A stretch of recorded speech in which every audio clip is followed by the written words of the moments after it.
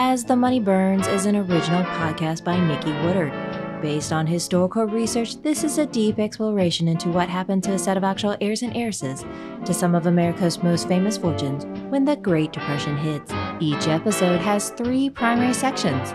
Section 1 is an heir to story, Section 2 goes deeper into the historical facts, Section 3 focuses on contemporary, emotional, and personal connections.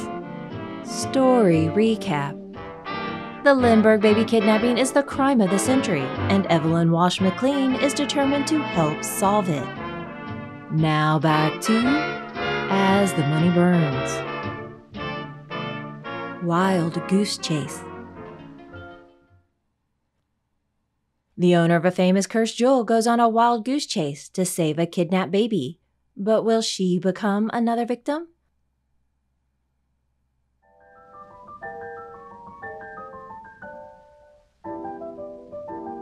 Section 1 Story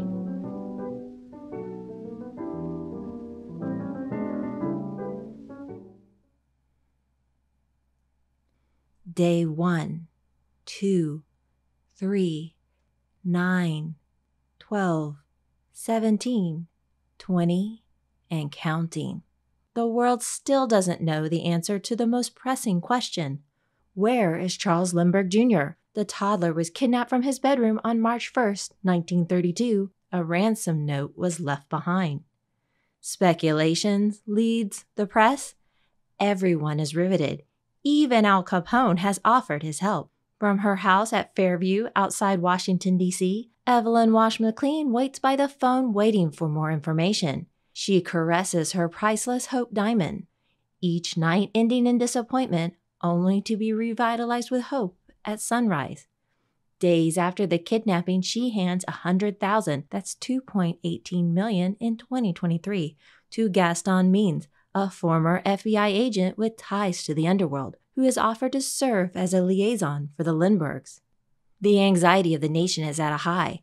Multiple kidnappings have spread out and are a rising threat.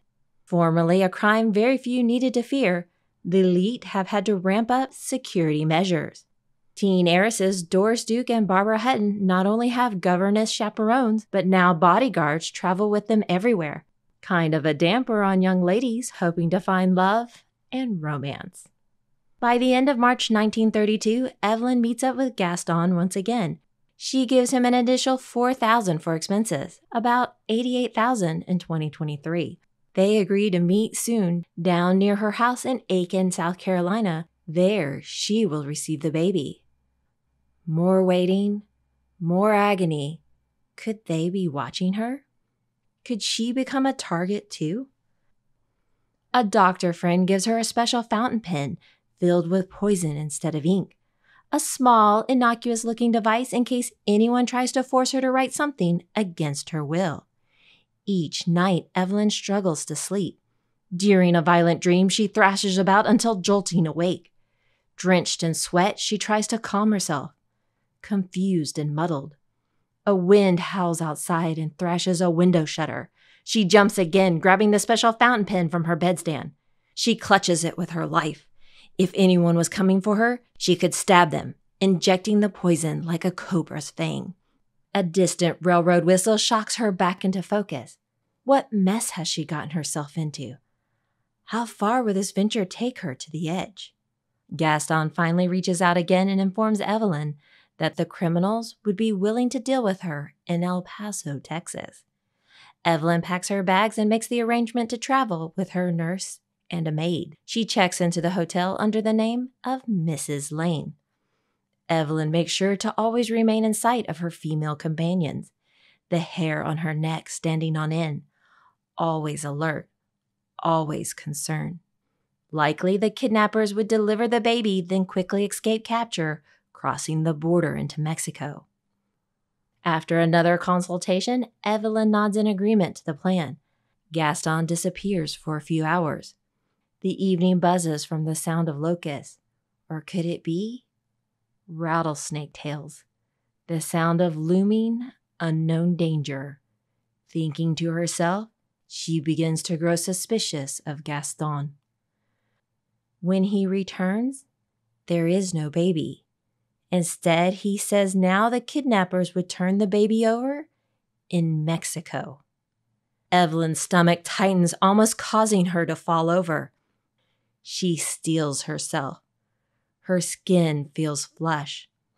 If she goes into Mexico, she might never come back. After Gaston leaves, Evalyn hurriedly leaves for Washington, D.C. She leaves behind her nurse on the off chance the baby does appear. However, she herself is in mortal danger.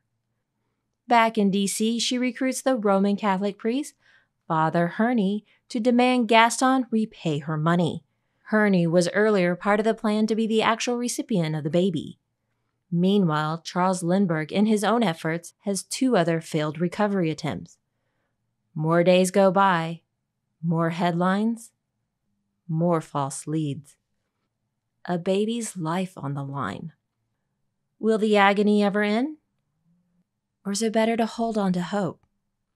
A limbo dance with hell.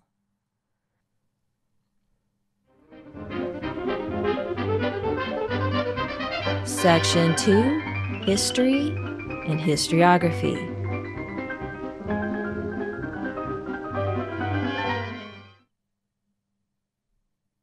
In retelling this angle of the Lindbergh kidnapping, I find myself wondering about so many questions. Of course, I've read and heard about the Lindbergh kidnapping in the past, but I must admit I am nowhere near any sort of even amateur expert. It is only in retreading the story now that I'm learning most of the details which I am pointing out. I only knew the highlights of the case, and even those didn't stick precisely in my head. The Lindbergh home in Hopewell, New Jersey quickly became a command post and dormitory. Several close confidants and those aiding in the investigation would stay there and consult on facts. Meanwhile, ransom notes continue to arrive to the Lindberghs and several of their associates. While Evalyn Walsh McLean chases the leads by Gaston Means, Charles Lindbergh is embroiled in several of his own. The madness continues as everyone keeps chiming in. Plenty of intermediaries, go betweens, and the subsequent wild goose chases.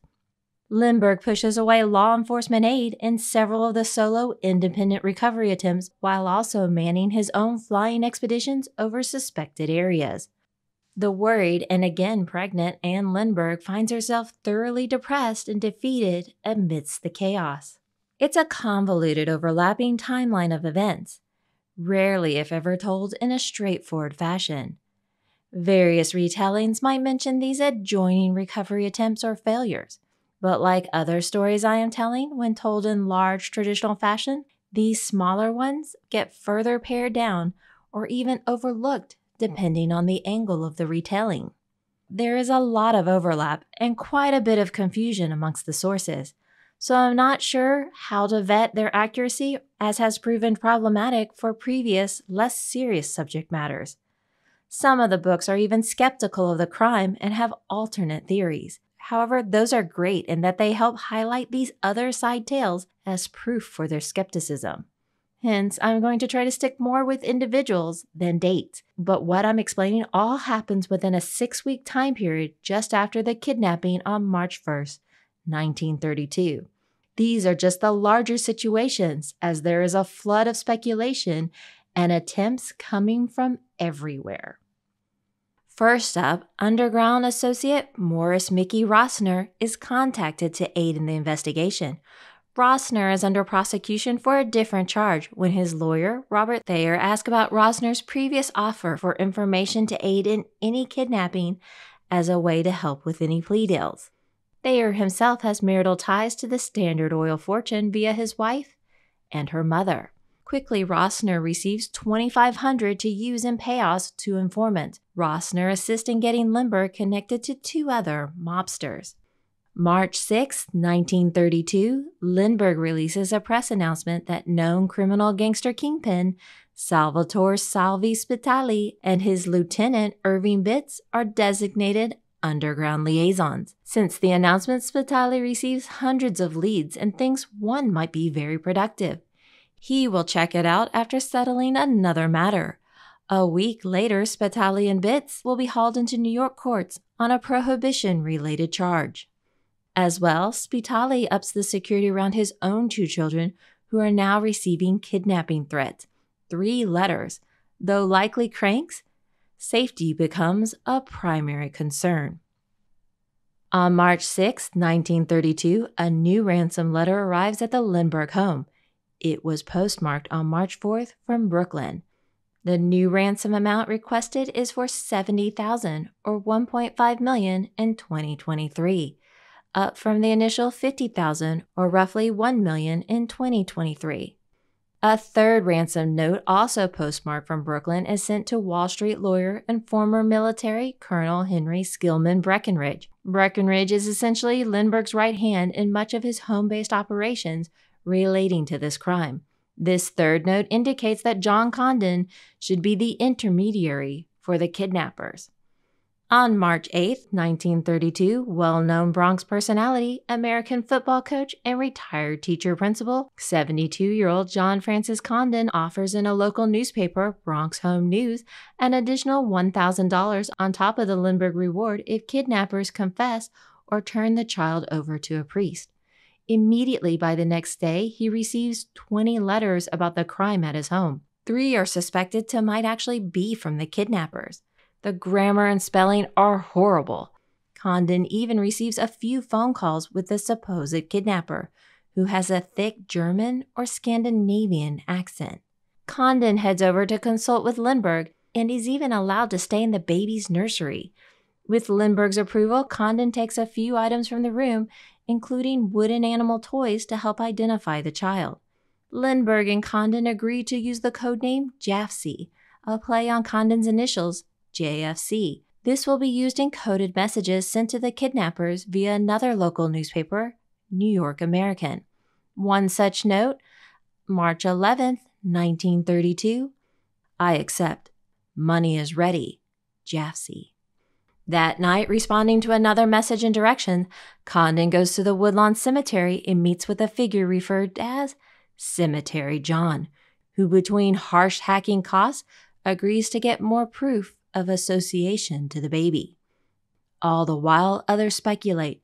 From his Cook County jail cell, Al Capone proposes the theory that it had to be mob related, because otherwise the kidnappers would have been caught by now. He still offers to help and is willing to pay a $200,000 bond. That's 4.4 million in 2023 if he is temporarily released to interview his contacts. Police focus on trying to locate Henry Red Johnson, an associate of the Scottish nurse Betty Gow. Johnson is considered a suspect as he drove Gow to Hopewell the day of the kidnapping. He works on boats and is not in the area for questioning, further adding to suspicion. Another Lindbergh servant, Violette Sharpe, is also under heavy interrogation as her whereabouts were unknown during the kidnapping. Meanwhile, newspapers go over and over the facts of the crime, even the Royal Canadian Mounted Police launch a three hour search of a houseboat following a valuable trail. One reported theory claims a mysterious Fred Short as a handwriting suspect. There is a hint that the kidnapping plot had been hatched over a year ago from Vancouver. On March 12, 1932, a man flags down a taxicab driver, Joseph Perrone, and gives him a note to be delivered to Condon with more instructions. In both March 13, 1932, in Bronx Home News and March 14, 1932, New York American, Condon promptly releases the message Money is ready, no cops, no Secret Service, no press. I come alone, like last time. On March 16, 1932, Condon receives in the mail a baby's Dr. Denton number 2 sleeping suit along with a seventh ransom note. Lindbergh confirms that the clothing item belongs to his son. April 1st, 1932, Condon receives a letter saying it is time for the ransom to be delivered. That same day, on a walk to feed guards on the Lindbergh Hopewell estate, Nurse Betty Gow and another servant, Elsie Whateley, find among the gravel one of the metal thumb guards Charles Lindbergh Jr. had been wearing the night of his kidnapping. The despair of that discovery further heats up efforts. On April 2, 1932, an unknown taxicab driver shows up serving as an intermediary and delivers to Condon another note for a meeting that night. Lindbergh dresses in disguise as a hunter and joins the party, but does not directly meet Cemetery John. At this next meeting with Cemetery John, Condon states only 50,000 has been raised, and John said it was acceptable, then hands over a note informing him the child was with two innocent women.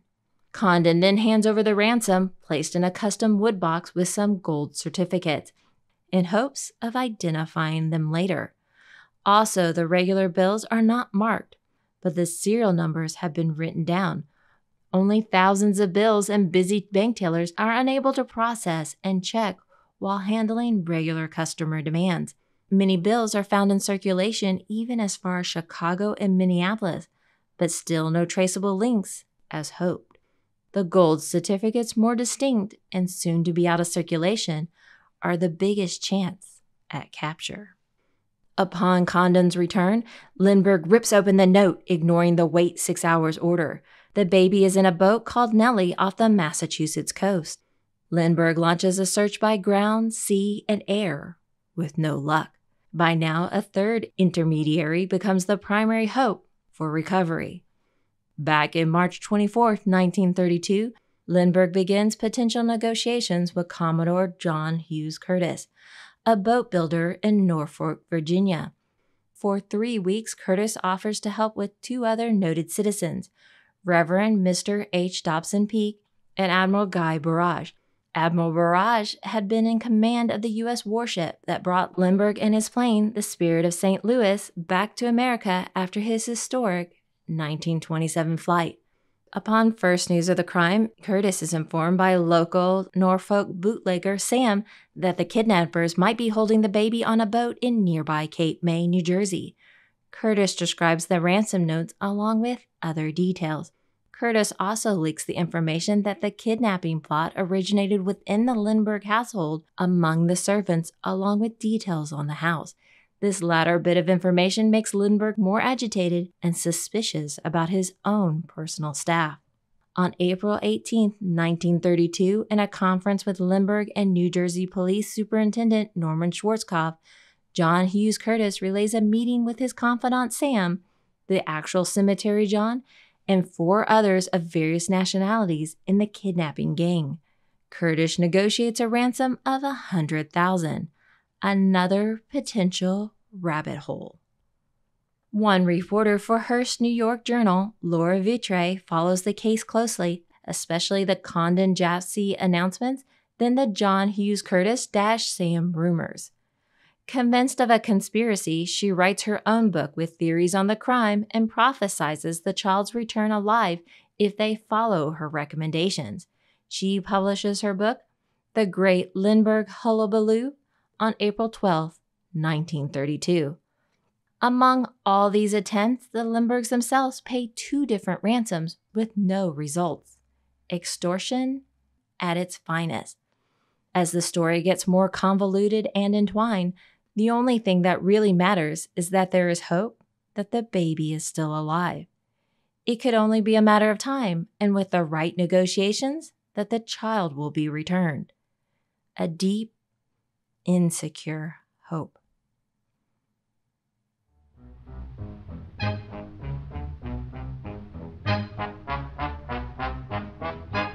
Section 3 Contemporary and Personal Relevance.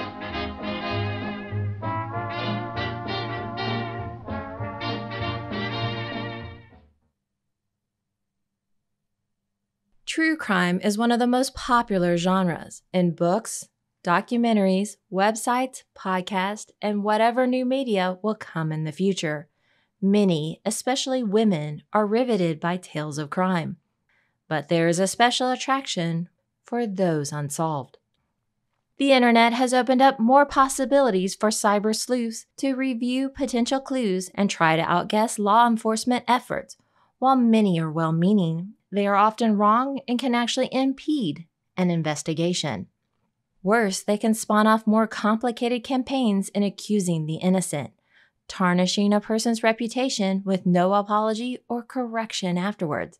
One more recent example is the 2013 tale of a missing Canadian tourist of Hong Kong descent, Elisa Lam, at the Cecil Hotel in Los Angeles. She is found days later naked in the water tank on the hotel's roof. The mysteriousness of her death and the last security camera footage of her alive in an elevator spark many imaginations, spawning horror films, songs, and music videos. In 2021, Netflix features the story in the documentary Crime Scene The Vanishing at the Cecil Hotel. The story takes a bizarre twist as cyber sleuths obsess over the elevator footage of Lam and come up with fantastical theories on her disappearance, and unhappy with the results from the actual investigation, which had the more simple explanation of a psychotic break after undermedicating her bipolar disorder, accidental drowning, and hypothermia. Later in August 2021, another recent case caught attention when Instagrammer Gabby Petito went missing during a trip with her boyfriend and fiance, Brian Laundrie. Her body was discovered in September 2021, and viral attention focused on the case while trying to track down the then missing Laundrie. Laundrie's remains would be found in October 2021, and with him a notebook in which he confesses to her murder and his suicidal plans. Sometimes groups form in discussing and trying to solve crimes. One group via Reddit went into overdrive trying to identify the 2013 Boston Marathon bomber, accusing several innocent individuals while devolving into an online witch hunt. WebSleuths.com is one online community where members work with law enforcement in helping solve crimes. With over 185,000 members, there are strict guidelines forbidding rumors but helping collect concrete evidence, such as where a shirt might have been made, bank records, and other items that might aid in solving a case. The biggest win was solving the 2009 death of former homeless guy turned lottery winner Abraham Lee Shakespeare, who was killed by his business manager, Dorice Dee Moore, who was also a member of the online club to deflect suspicion. Another member found Dee Dee's bank records, which led to her arrest. Without a doubt, crimes will always exist, and with that, there will always be those more willing to jump into action and try to solve them. Only too bad such aid isn't so readily available when it comes to crimes of the heart. For those, our heirs and heiresses need more preventative means of protection. Curious to find another true crime podcast? Then you might want to check out Ye Olde Crime Podcast by Lindsay Valenti and Madison Stongel. They cover tales from yesteryear pre 1900, and it is not always murder. Here's their trailer. Do you love true crime but are looking for something different? Do you like learning about cases so off the wall they can't possibly be true? Do you love history but want to hear about what they didn't teach you in school? Do you like laughing awkwardly about cases that are bizarre and a little strange? Then we have the podcast for you. Join me, Lindsay. And me, Madison, for Ye Olde Crime, where we discuss the funny, strange, and obscure crimes of yesteryear. Listen every Wednesday, wherever you get your podcasts.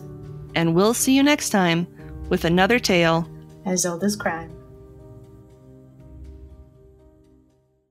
Recent episodes include Pirate Queen, Grace O'Malley, the Dahomey Amazons, and the Pendle Witches with a dangerous family feud, among other interesting tales. Links available in the notes section and transcript. If you enjoy As the Money Burns, then please share, like, and subscribe.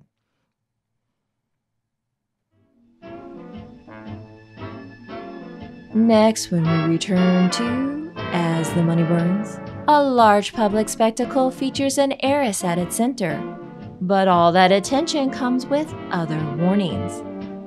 Until then. As the Money Burns is an original podcast written, produced, and voiced by Nikki Woodard based on historical research. Archival music has been provided by Past Perfect Vintage Music. Check out their website at www.pastperfect.com. Please come visit us at As the Money Burns via Goodpods, Twitter, Facebook, or Instagram. Transcripts, timeline, episode guide, and character bios are available at asthemoneyburns.com.